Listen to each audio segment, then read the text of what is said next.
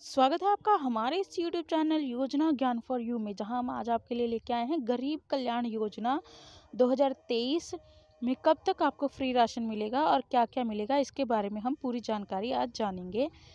और इसके लिए आपको पूरी वीडियो ज़रूर देखनी होगी। लेकिन इससे पहले, अगर आप हमारे इस चैनल पर नए हैं तो आप हमारे इस चैनल को यहाँ से सब्सक्राइब ज़रूर करें, साथ में बेल आइकन की घंटी दबाएँ, ताकि आपको आने वाली वीडियोस की जानकारी तुरंत मिल सके। यहाँ से आप लाइक करें और यहाँ से आप दोस्तों को शेयर कर सकते हैं। यहाँ पे हम आपको हर रोज़ सरकारी नौकरियों के बारे में जानकारी देते हैं, सरकारी योजनाओं के बारे में जानकारी देते हैं। अगर आप ऐसी जानकारियाँ चाहते हैं तो आप हमारे चैनल को सब्सक्राइब कर दें।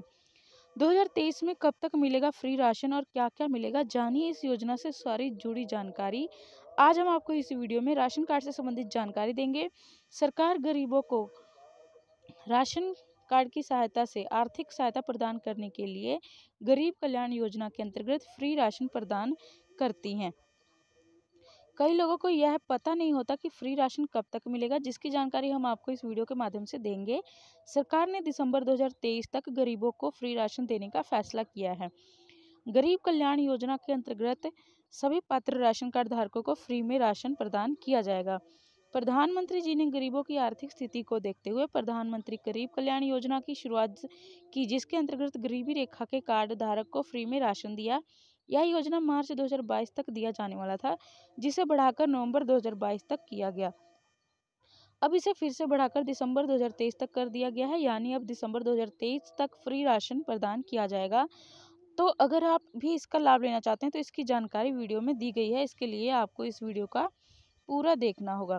सरकार ने गरीबों को आर्थिक सहायता प्रदान करने के लिए गरीब कल्याण योजना के अंतर्गत दिसंबर 2023 तक फ्री राशन देने का ऐलान किया है, यानी दिसंबर 2023 तक सभी गरीबी रेखा के नागरिकों को चावल फ्री में दिया जाएगा।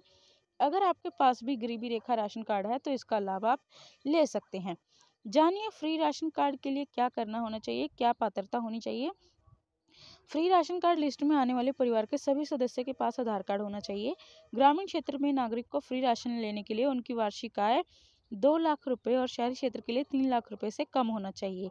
फ्री राशन पाने के लिए लाभार्थी के पास पाँच एकड़ से अधिक ज़मीन नहीं होना चाहिए।